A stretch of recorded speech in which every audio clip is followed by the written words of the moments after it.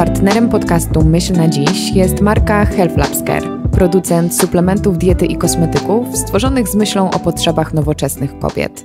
Poza tym, no naprawdę, no PubMed trzeszczy po prostu pęka w szwach. Ja u siebie na blogu pisałam też taki dosyć obszerny artykuł, gdzie trochę chciałam opisać o, w ogóle medytację i o tym, jak mózg jest w stanie, jak, jak sposób myślenia zmienia nam mózg. naprawdę przywertowałam sobie wtedy PubMed pod kątem medytacji, mindfulness, treningu uważności, tego, co zrobił John Kabat-Zinn e, w latach, wydaje mi się, że to były lata 80., czy już nie pamiętam, ale no kilkanaście lat temu, e, co zrobił jakby wychodząc z doktrynami buddyzmu na MIT, jakby zapoczątkował ruch mindfulness, ale to mhm. były elementy buddyzmu, tylko po prostu przetłumaczone na taki nasz język współczesny, żeby w ogóle dojść też do naukowców.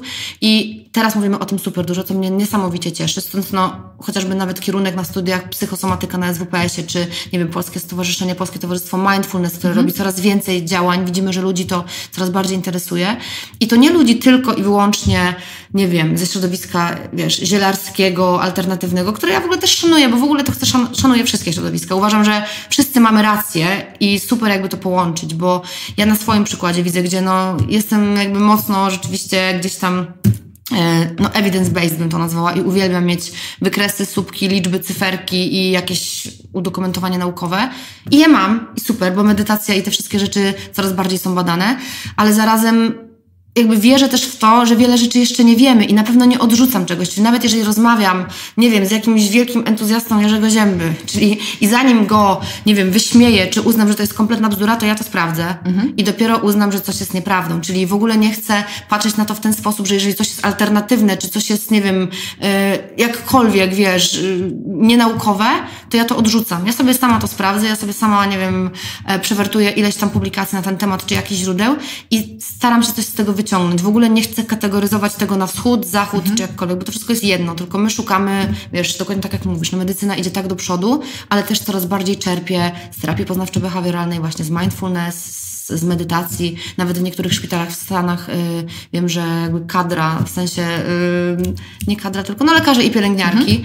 mają na przykład w swojej takiej rutynie i, i w pracy treningi mindfulness na przykład w trakcie wykonywania tak, pracy. mają też oczyszczenia energetyczne i różne inne rzeczy, więc to jest zupełnie inny świat mam wrażenie. Jeżeli chcę mówić o czymś, że coś zadziałało lub nie I zadziałało, no to, to próba N równe 1 no nie jest próbą, więc jeżeli mam badanie na jakąś metaanalizę, a ostatnio mnóstwo wyszło metaanaliz odnośnie mindfulness i właśnie treningu uważności na, nie wiem, wiem, e, właśnie mm, powodzenie leczenia, wspieranie leczenia mhm. depresji, czy w ogóle właśnie zmiany, które dzieją się strukturalnie w mózgu, zwiększanie istoty szarej, zmniejszanie białka CRP, czy stanów zapalnych, określonych interleukin, w ogóle wyłączanie właśnie reaktywności ciała migdałowatego, no mnóstwo, mnóstwo rzeczy, które są takie jakby no twarde naukowo, mamy na to skany mózgów MRI, więc jakby jest to jakieś tam potwierdzenie. Bardziej chodzi o to, żeby móc powiedzieć, rzeczywiście wydać jakiś statement, mhm. że to działa na większej grupie osób, bo to, że to działa na jedną, dwie, trzy osoby, super, tak może być i to też mnie w jakiś sposób przekonuje, bo nawet jeżeli to pomoże jednemu człowiekowi, to super, bo to pomogło. Tak. Tylko zanim jakby w mojej głowie urodzi się mm, takie sformułowanie, jakieś takie podsumowanie, że to działa na większą grupę osób i możemy to śmiało jakby polecać, rekomendować, no to zawsze fajnie jest te wyniki zobaczyć. Natomiast co mnie tak jakby uderza, właśnie zobacz, jeżeli powiemy komuś, że sposób myślenia spowoduje, że ten pan nie będzie chorował, chorował na, na choroby serca, nie będzie miał migotania przedsionków i na przykład nie będzie zapadał na choroby neurodegeneracyjne to wydaje się jakaś czarna magia. Mhm. Ale jeżeli znaczy już powiesz, że sposób myślenia, czyli ten pan nie będzie się tak denerwował, nie będzie miał przewlekłego kortyzolu, kortyzol nie spowoduje mu stanu zapalnego, nie zmieni mu się mikrobiota, nie spadnie mu białko jakiejś tam ostrej fazy, coś tam, to już bardziej przekonuje. Tak. Więc też chodzi wiesz, o to, do kogo mówisz. Zależy do kogo mówisz, ale właśnie chodzi o to, że yy, też ostatnio takie badanka przytaczałam, że na przykład kiedyś powiedziano by nam, że sposób tego jak jemy, czy szybkość jedzenia, na przykład niestrawione resztki, które powodują nam stan zapalny w brzuchu, psują nam mikrobiotę, mogą powodować też zwiększenie yy, otyłości trzewnej, stan metaboliczny i na przykład przykład choroby neurodegeneracyjne. Kiedyś takie połączenie byłoby kosmosem. Że jak w ogóle szybkość jedzenia, czy to, ile my zjadamy w ciągu dnia, może wpływać na choroby neurodegeneracyjne. A teraz wiemy, że choroby metaboliczne tak mocno wpływają na stan naszego serducha, na, na układ krążenia, że niesamowicie mocno to w ogóle predysponuje do tego, że y, występują choroby neurodegeneracyjne, czy jakieś zmiany w mózgu.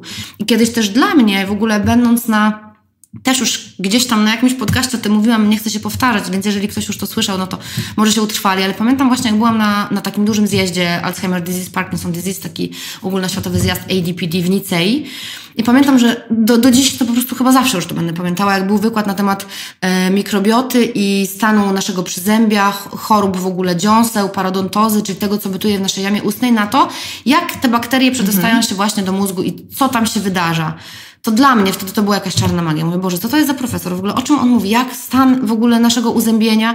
No i tak sobie potem myślimy, że to jest jakieś tam czary mary. No i za chwilę mija ileś tam lat i po prostu mnóstwo badań na ten temat. I też jakby to łatwo jest to sobie wytłumaczyć. No, czasem wiadomo, no, też status społeczny, czyli niedbałość o jakąś tam higienę, też mniejszy poziom, powiedzmy, wyedukowania tych ludzi powoduje, że no nie dbają o siebie tak, jak powinni, więc jeżeli nie dbają o siebie tak, jak powinni, to być może też nie do końca są z dietą tak. za pan brat. To wszystko jest tak połączone, więc jeżeli też, wydaje mi się, że to jest wszystko kwestia wytłumaczenia ludziom pewnych rzeczy, bo jeżeli rozbierzemy to na czynniki pierwsze, to wydaje mi się, że nawet największym niedowiarką jesteśmy w stanie wytłumaczyć, że naprawdę sposób myślenia, czy sposób jedzenia, czy sposób, nie wiem, łapczywości, czy nawet powolnego jedzenia jedzenia posiłków może mieć wpływ na to, jak ty się czujesz w ciele. Czyli to połączenie tak. psycha-soma to wydaje mi się, że to już w ogóle, nie wiem, czy jeszcze istnieją ludzie, którzy już w to nie wierzą. Być może tak, którzy jeszcze w to nie wierzą, ale mam nadzieję, że to się zmieni. Nowa myśl na dziś czeka na Ciebie od wtorku do piątku o 7 rano. Pełna rozmowa, z której pochodzi fragment, dostępna jest na Karolina Sobańska Podcast, a link do konkretnego odcinka znajdziesz w opisie. Obserwuj Myśl na Dziś i Karolina Sobańska podcast na Spotify i iTunes, aby być na bieżąco. Po więcej treści zajrzyj na Instagrama Karolina Sobańska.